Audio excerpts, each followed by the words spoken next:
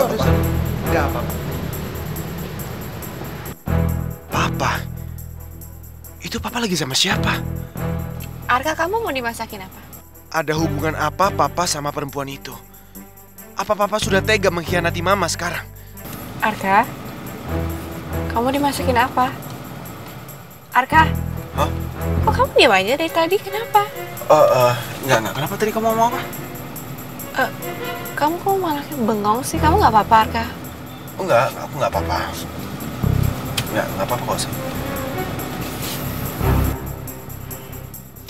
Arka, saya kagum sama kamu karena kamu anak bos tapi pekerjaan kamu tidak seperti kayak anak bos tapi kayak pegawai biasa.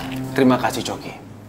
Oh iya, ngomong-ngomong, kenapa kamu bisa tiba-tiba kerja di sini? Pak Utomo itu teman lamanya Mama. Oh, oke. Ya. Apa mungkin ibunya Coki jangan-jangan ada saham di sini atau? Ya, dia punya butik. Kemarin aku lihat papa di depan butik sama perempuan itu. Apa jangan-jangan perempuan itu ibunya Coki? Kamu bukannya waktu itu datang ke sini ya? Iya, Bu. Jadi kalian sudah mengenal anak saya. Iya, tujuan saya ke sini saya sebenarnya ingin menanya satu hal yang mungkin agak pribadi, Bu. Ada apa ya?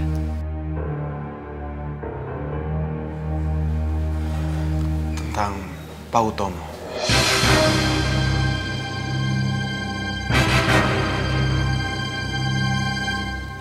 Dari mana kalian kenal Pak Hutomo? Pak Utomo adalah papa saya.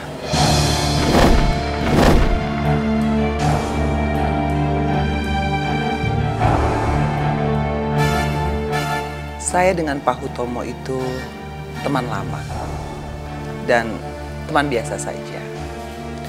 Dulu sebelum Pak Hutomo memulai bisnisnya sendiri, dia pernah bekerja di kantor ayah saya. Tapi ayah saya kemudian bangkrut. Dan saya ya begini, memulai butik kecil-kecilan. Kak, tapi saya suka kok butiknya, Bu. Bajunya cantik-cantik sekali. Makasih ya. Karena kalian anaknya teman saya, jadi saya kasih diskon khusus untuk kalian. Oh, nggak perlu Bu, terima kasih. Jujur tujuan kami ke sini bukan untuk minta diskon atau apa, tapi hanya ingin sekedar untuk mengenal Ibu aja. Iya, iya, saya ngerti. Tapi kalau mau lihat-lihat silahkan loh. Ya, Iya, boleh, boleh, makasih. boleh. Terima kasih. Jadi Arka dan Naura datang ke bukit kamu, Bella. Iya, mereka bertanya apa aku kenal dengan kamu. Untuk apa mereka ke sana? Dan mengganggu kamu? Mereka kan bisa bertanya sama aku. Sudahlah Hutomo, itu semua tidak masalah. Mereka anak-anak yang baik. Aku hanya menjelaskan kepada mereka kalau kita adalah teman lama. Saya berharap kamu juga biasa saja sama mereka. Iya, Bella. Aku juga minta maaf ya. Arka dan Naura pasti melihat kita waktu kita makan malam kemarin.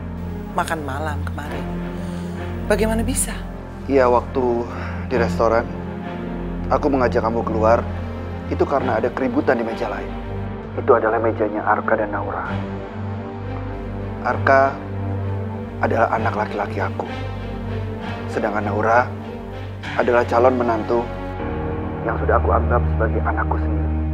Oh ya Hutomo, Em, Ada apa, Bella? Gak apa-apa. Aku cuma cemas saja. Bagaimana kalau nanti Arka itu berpikir macam-macam dan dia mencari tahu tentang hubungan kita? Kamu tidak perlu cemas, Bella. Biar nanti aku yang bicara sama Arka. Baiklah Hutomo. Aku cuma mau mengabarkan itu saja. Iya, Bella.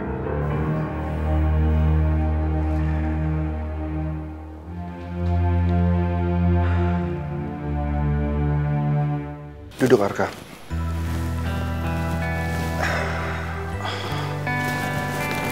Ada apa, Pak? Tadi Ibu Bella bilang, kamu sama Naura pergi ke butiknya. Apa benar?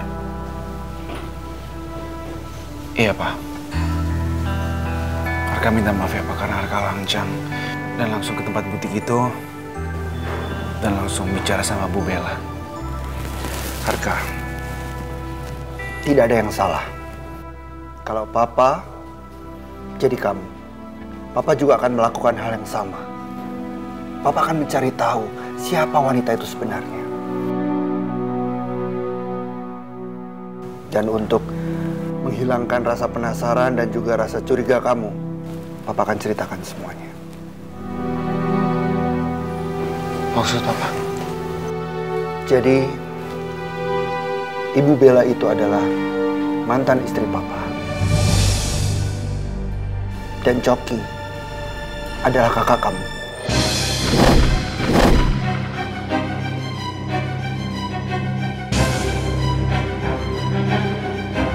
Jadi bener dugaan Arka, Pak. Kenapa Papa tega ngelakuin ini semua? Itu tandanya Papa pernah mengkhianati Mama. Papa kenapa tega, Pak? Arka, Arka, bukan seperti itu Arka. Kamu salah pengertian. Jadi Bella, ibunya Coki, itu adalah istri pertama Papa.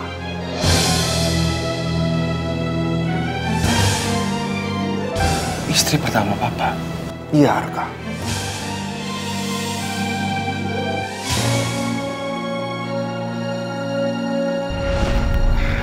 Selamat malam Pak. Oh ya, Utomo silahkan duduk.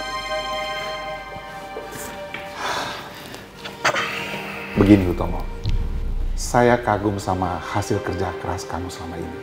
Dan kamu itu, pekerjaan kamu sungguh-sungguh bagus, tanpa ada cacat sedikit pun. Terima kasih Pak. Dan saya lihat, kamu itu orangnya cukup bertanggung jawab. Saya yakin, perusahaan saya itu semakin maju bila kamu yang menanganinya. Terima kasih Pak. Dan satu lagi keinginan saya. Agar kamu itu bisa menjadi menantu saya.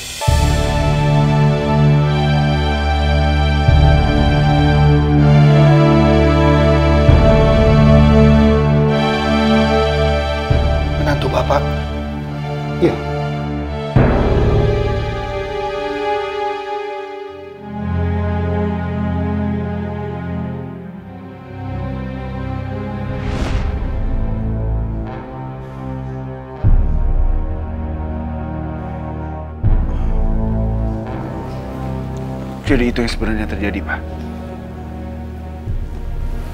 Iya Arka. Pernikahan Papa dan Ibu Bella hanya berlangsung seminggu.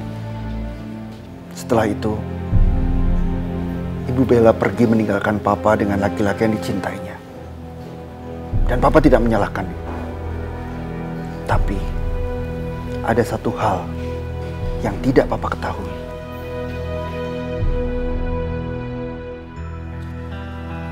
Ibu Bella pergi meninggalkan Papa dalam keadaan mengandung anak Papa. Dan Papa baru tahu ini. Setelah secara tidak sengaja, Papa ketemu dengan Ibu Bella.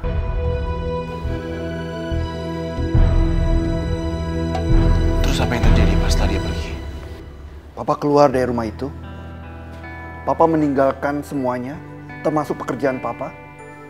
Karena Papa tidak ingin membuat keluarga Bella malu. Supaya orang berpikir Papa dan Bella pergi ke luar negeri. Setelah itu, Papa memulai segalanya dari awal. Papa mulai usaha baru dengan modal pinjaman dari Pak Suhari, sahabat Papa itu, ayah Naura.